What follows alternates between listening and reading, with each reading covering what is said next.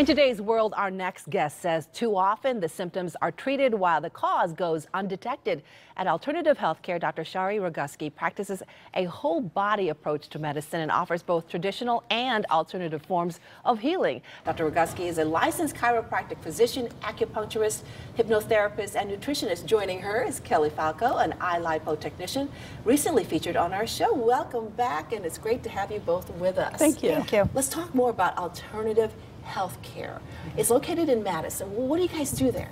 Well, first and foremost, I'm a chiropractic physician, and I'm trained as an acupuncturist. We do a lot of functional medicine, hypnotherapy, um, a lot of nutrition. I have a wonderful holistic pharmacy, and uh, the newest addition to my practice is my iLipo, Oh, which she's our tech in this. exactly. And how long have you been doing that, Kelly? A couple months now. Okay, we're going to talk more about that in just a few minutes. Can't wait to hear more about it.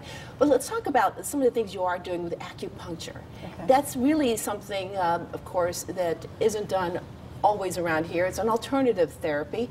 Tell us how that works. Well, actually, actually, the whole goal of acupuncture is to balance your body's energy, which is called qi. Okay, and once the body's energy is balanced, ancient Chinese physicians, you know, they claim that everything else will fall into place. So the whole idea of like facial rejuvenation, we first take the body into its, you know, homeostasis using a special treatment depending on what the patient needs, and then we use certain points to help raise the skin on the face. Okay, we're talking about using, in acupuncture, what are you using to? Well, there's a, a lot of different methods that we can use, Okay. but tr- the traditional, what most people know about are the needles. that Exactly, use, that's what I wanted to talk about, And I use sterilized, only one-use needles, so these are never like used on any more than one person. And then I use what's called a teishin because there are some points that are so tender you would never want to put a needle into that point. And then there's electric stim and there's all kinds of different types of acupuncture methods. And so what do your patients tell you when you actually put that needle in? Can they feel it? No. They can't? No, 99% of the time they don't feel it. Occasionally, if I hit a nerve, and I always let them know to please let me know if they feel anything because I really don't want a needle sitting on a nerve. So I just remove the needle and put it adjacent to the area. Um, sometimes there is a kind of pain that's good, sort of like an achy pain. That means we've really gotten into the meridian, and that's that's actually a plus. All right, good. Now, you're using it for ra- facial rejuvenation, as you Yes. just mentioned. I understand Kelly went through that. Yes, I, Yes, I did. So, what was that like? It was actually very relaxing.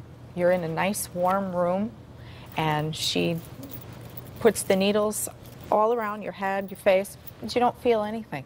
Okay, let's And it a, feels, it makes your body just feel great We while actually you're have some it. pictures. Okay. So, uh, let's just take a look at this. All right, what are we seeing here, Dr. Roguski? Okay, this is the before picture.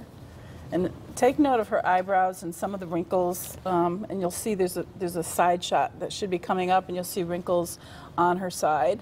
And these are the problem can areas see 'em. you want to get Right. repaired, right? Kelly? Right. She Okay. has, you know, the facial underneath the eye kind of wrinkle starting. She's just starting to get her wrinkles. Okay, and then look at her. I mean, it, how much of a difference? What are people saying?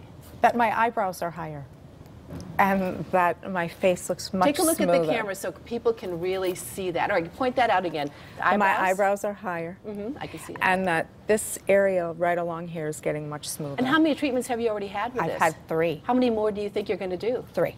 Okay, wow. Well, love seeing the, that. Let's talk about the iLipo. Okay. How, how does this work? This is a wonderful machine. I mean, I, I can't tell you, I just can't say enough about it. Um, it's, it really breaks down the fat cell. It's cold laser, goes into the cell, opens it up, takes the fat out of the cell, and then brings it through the interstitial spaces, out through the lymphatic system. You have to exercise for about 20 minutes, nothing strenuous after, and that's to get the lymphatics flowing so that the fat just goes through the system. And obviously, with exercise, you, you do, you know, have some calorie loss. So. So how soon do you see an effect, Kelly? After my first treatment. You saw an effect after your first treatment. Yes, I did.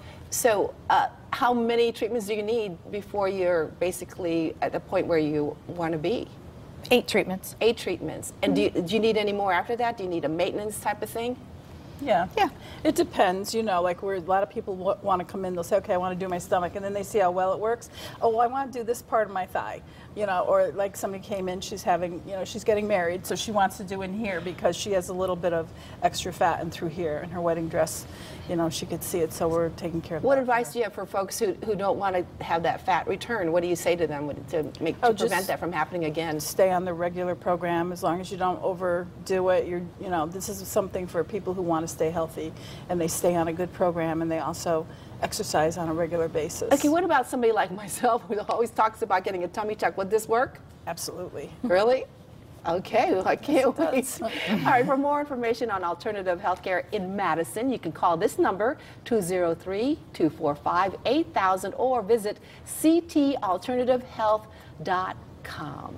Thank you both for being here. It's Thank you. lots of great information. Thank you. Thank you. You're welcome. Coming up next, I'm heading into the kitchen. Betty Ann and Stephanie share a delicious recipe, but first, take a look at this.